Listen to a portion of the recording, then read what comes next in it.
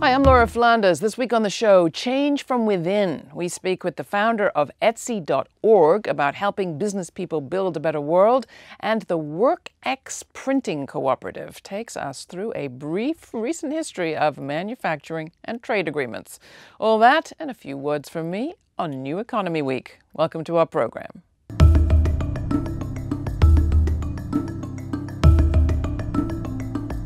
It's one thing to hear Pope Francis talk about eradicating poverty and the need to change the way we do business for the sake of our souls and the planet. It's quite another to hear that sort of talk coming from entrepreneurs whose bread and butter is commerce.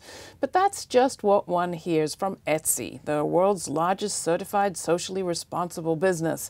Not satisfied with pioneering a $3 billion global crafts market, earlier this year, Etsy launched a business education program for business people who want to make a better world. Here to tell us about Etsy.org and this new pilot program is Matthew Stinchcomb, Etsy.org's director, and Donna Schaper, senior minister for Judson Memorial Church in Greenwich Village. Welcome to the program, both of you. Thank you. Thank you. A minister and a businessman. This might be a first at this table.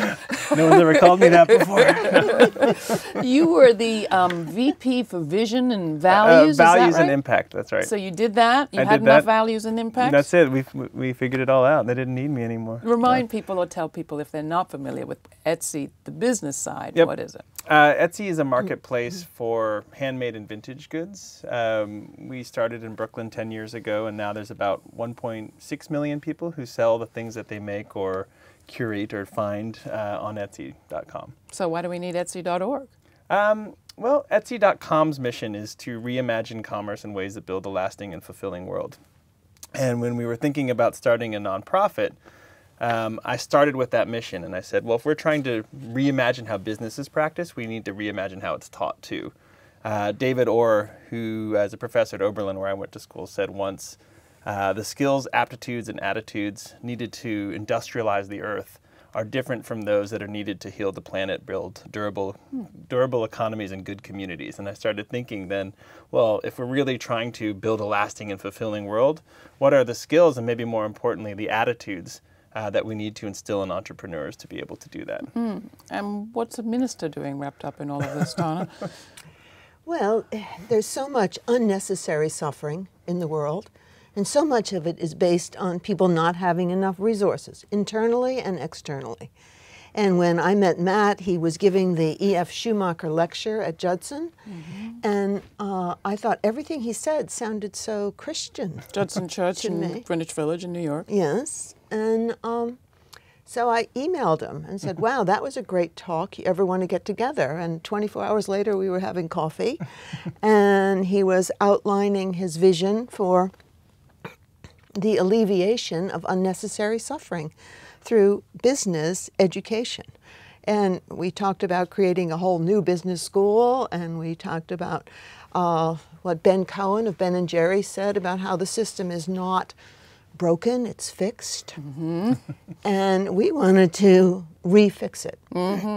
so that's how. And we've just hit it off, and we're ready to start this new program on Friday. Well, let's talk about it. So, so this pilot program launches this fall.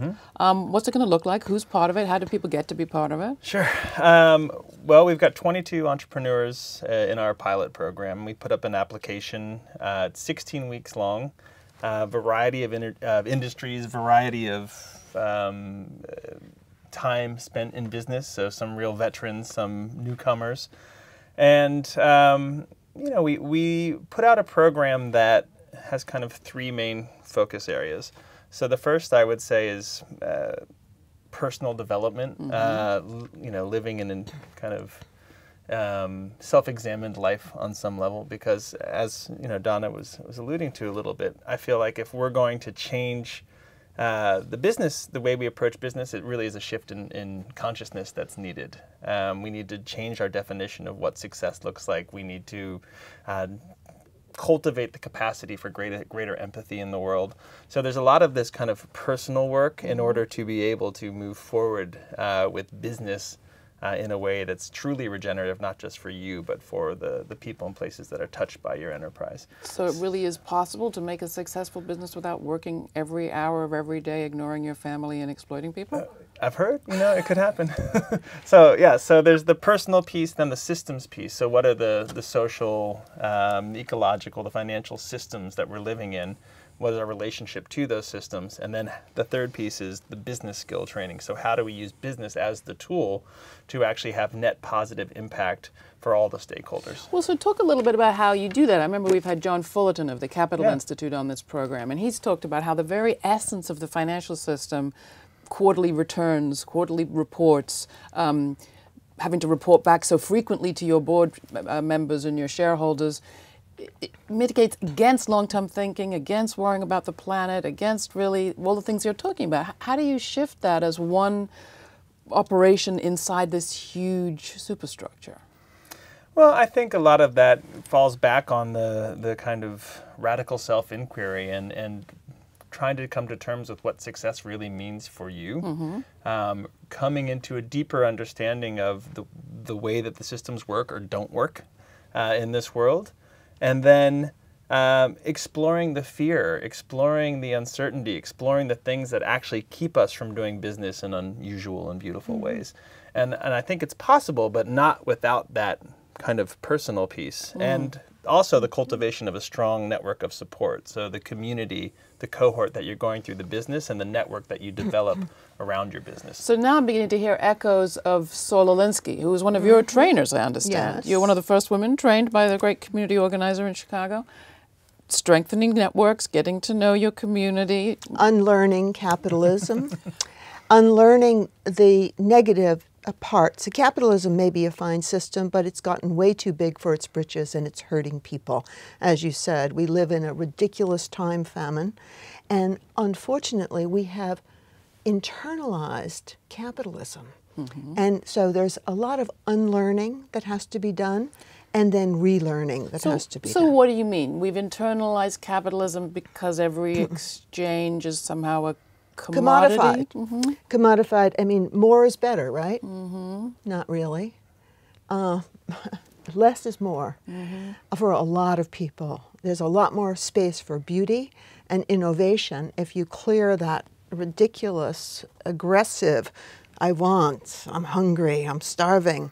And then you get all that, as we know many people do, and they're still hungry and they're still starving and they're living in more of a time famine. So it is, uh, we call it spiritual entrepreneurship, where the person is changed in such a way that the business is changed, in such a way that the world is changed, and it, it's, it's transformation. So give me an example of, of a person changed and a business changed. Maybe I'll let you off on the world right away. You know, an example I think that's often cited, but for good reason, is the Grayston Bakery um, up in Yonkers. Uh, th- that's actually one of the places where the participants will be going and meeting with Bernie Glassman, who founded the bakery in 1982, and um, Mike, who's their current CEO. And uh, I was actually speaking at an event last week at Columbia, and um, they had one of the employees who worked there telling his story and i was you know brought to tears just hearing about how his life was transformed because Grayston had just given him a chance and given him the opportunity. Grayston, as you may know, has an open hiring policy. Mm-hmm. So anyone can walk in the door, a homeless person, a formerly incarcerated person, and they put their name on a list, and when a job comes up, that's their job. Mm-hmm. And this is a successful business that is transforming Yonkers. They take the profits from the bakery uh, and invest them into affordable housing and childcare and all of these things. And so, mm-hmm. you know, what I became convinced of over 10 years at Etsy is that business is very powerful. Um, and it's a powerful tool for shaping a community. Mm-hmm. Problem is that we tend to shape communities, or very large businesses can shape communities in ways that mm-hmm. are really degenerative. But it doesn't have to be that way. You can use that same powerful engine in ways that are very regenerative. Mm-hmm. So Grayston, to me, is a really great example of that. And how can we do this in, you know, in hand in hand with policy changes? Because I think everybody at this table has said um, we can make a change, but the change has to be bigger than us too. I think you begin by building a base of successful change agents who are happier, more satisfied. We're not against making money Mm-hmm. in this program. It'll be great if somebody makes lots of money, as long as the objective is not just that aggressive more. Uh, it so that the money gets reinvested. So we uh, will teach things like worker ownership, which is a magnificent strategy. Uh, you know, my personal hope, it's not about this program, is that somebody in policy terms says you can only make 150 times what the smallest wage earner in your business makes, you know, or, Or five times.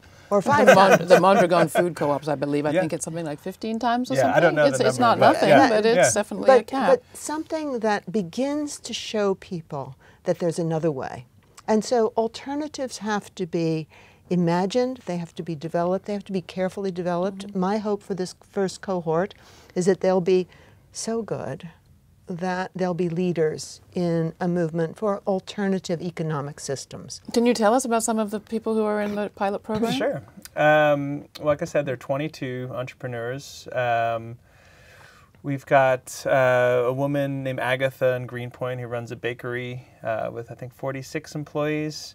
Uh, a guy named David up in the Bronx who has a dancewear company that he's had for 40 years up there. We've got there's two women in the cohort who are starting underwear companies, both with a focus on women's health. Uh, two different angles, but really, really interesting businesses. They're they're just starting out, so they're pre-revenue, and it's a really, I think, great uh, great mix and of of new and experience and.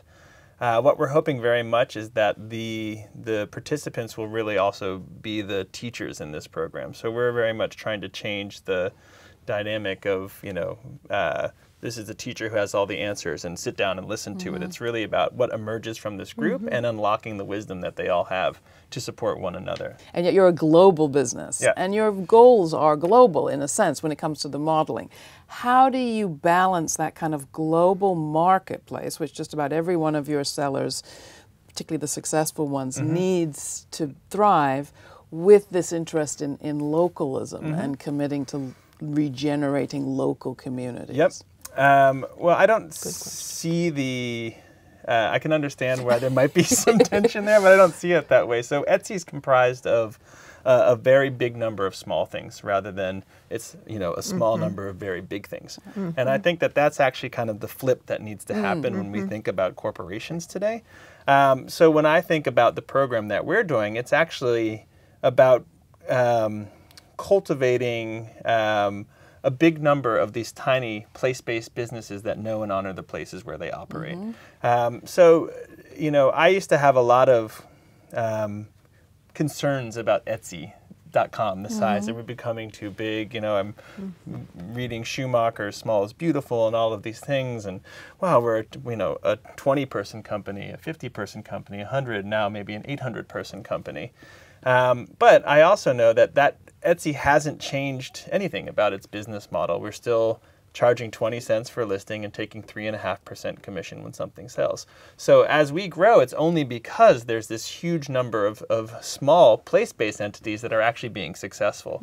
So I actually think that you know, and and I, it gets to a really interesting conversation around scale, which I think is is a very important conversation. And I'm sure one of the having right ones you'll have with your with your One hundred percent. You know, I, I really like the idea of scaling deeply rather than you know just becoming very large. So how do we create actually? How do we scale through creating um, a big number of small place-based economies that are replicable? Donna, I could see you want to come in on this. No, I think what you said is just right about it's such a good question about, you know, how big do you have to be to matter? And spiritually, we talk about vocation. Uh, you know, what why do you get up in the morning? Why why do you care? Why do you work? And so many people have lost such a sense of vocation Yeah. And go to garbage jobs to do garbage work to make things that people don't really need. And it, it's it's destructive to their lives. So the value of having a business making something that's honorable and decent and making it in a good way is an intrinsic value that has its own merit. Mm. And we want to help people see that the forgotten wisdom of having a vocation instead of a job. A livelihood. Uh, and I mean, why live for your vacation? so we're almost out of time, but I have one short question jotted down here, which is capitalism, the dung of the devil. Discuss. Any thoughts on what the Pope had to say on his visit? I'm uh, I'm in love with the Pope. Uh, I just let's just uh, put it that way. And yesterday I preached a sermon called "What the Pope Can Do and Can't Do," and it attends this question of size. Yeah. I don't want him to be a successful totalitarian leader. I want him to fail.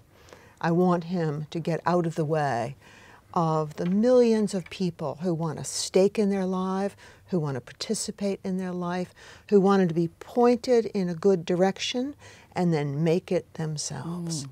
So it, I don't want the Pope to succeed as uh, this whole business of touching him and Pope bobbleheads and people being too crazy about him. Um, it's too big. And it's that sneaky form, again, of internalized capitalism that will kill us. And it will destroy the planet and the turtles. and it's rapidly almost there. So let's stop it. and and not just stop it. I'm so sick of protests. That's really why I'm hooking up with Matt. I'm so sick of protesting the bad. I really want to develop mm. the good.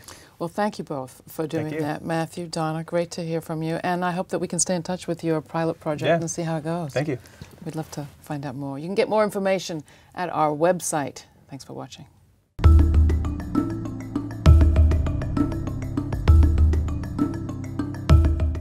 Everyone knows that the system is broke, and nobody knows how to fix it because most people don't know where we went wrong.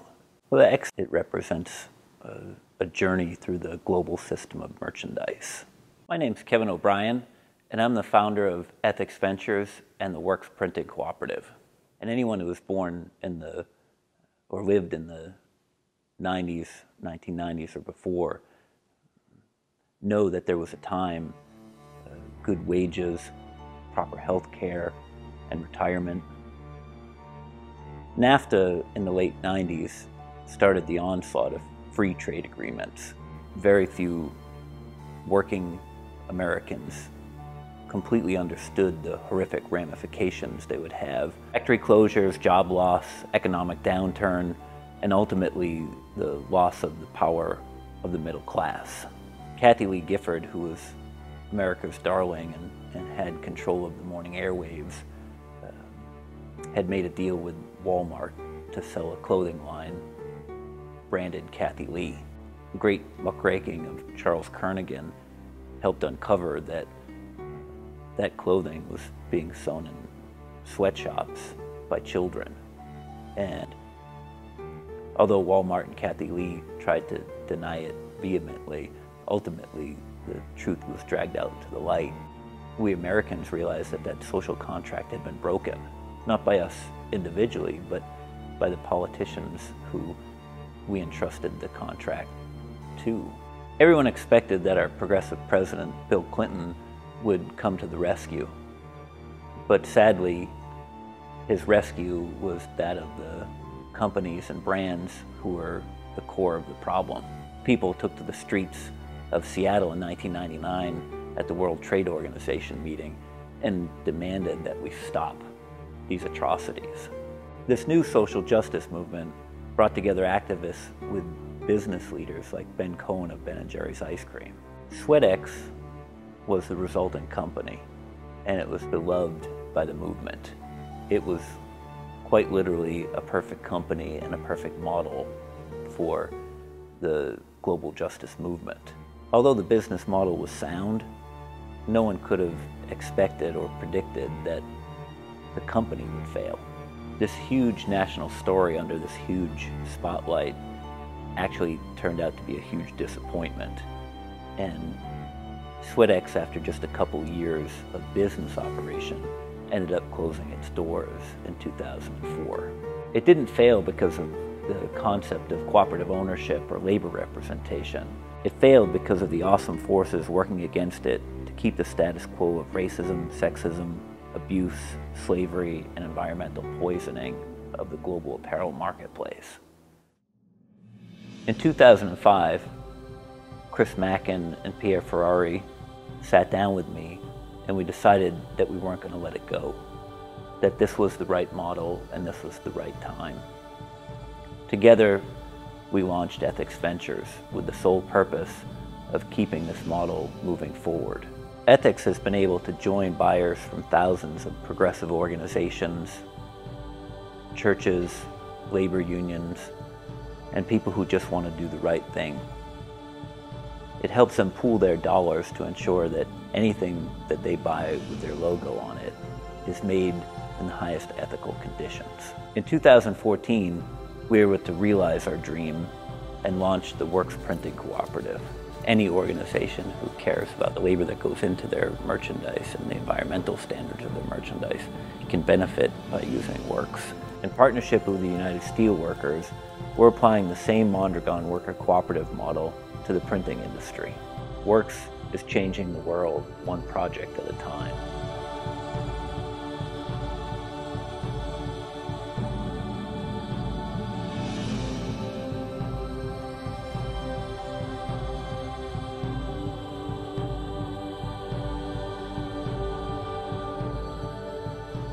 WORX is part of a growing movement of union co-ops. One worker, one vote. We're treating people the way that we want to be treated.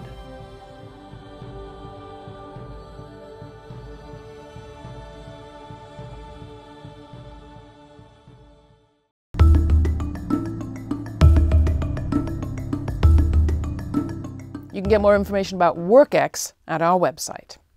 It's amazing how money media cover activists when they die. When radical philosopher and organizer Grace Lee Boggs passed away October 5th, she received long, respectful obituaries in just about every national paper. Activist and revolutionary, trailblazer, human rights advocate, they called her. Boggs, it was noted, lived to a hundred years old. But it shouldn't take a century for the media to notice people like Boggs, the activists in their hometowns.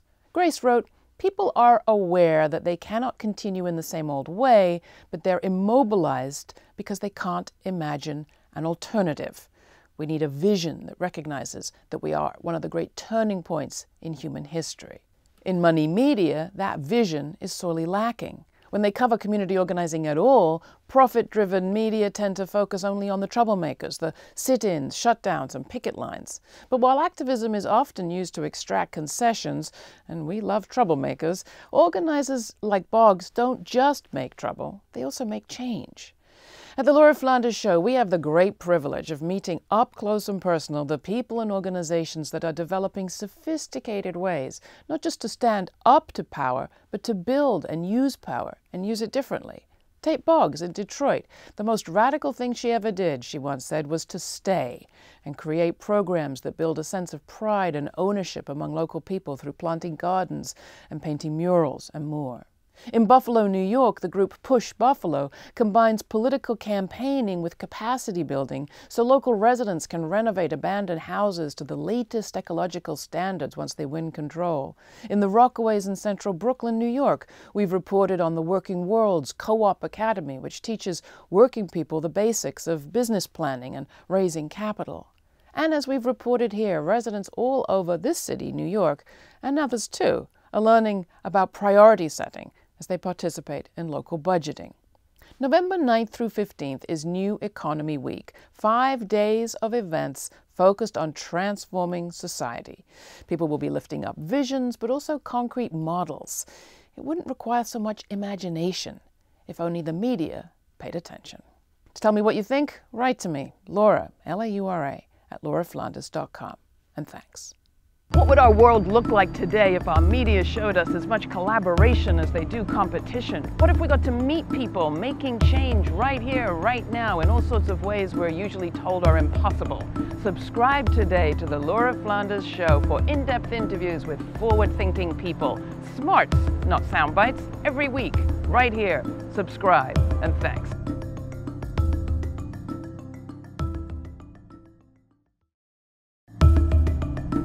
Hi, I'm Laura Flanders. This week on the show, Avi Lewis, the director of a brand new film, This Changes Everything. Climate change changes everything. We are in for dramatic physical change to our world. one way or another. When you see communities who are thrown into the front line, and you see the incredible transformation, they become stronger, they stand up.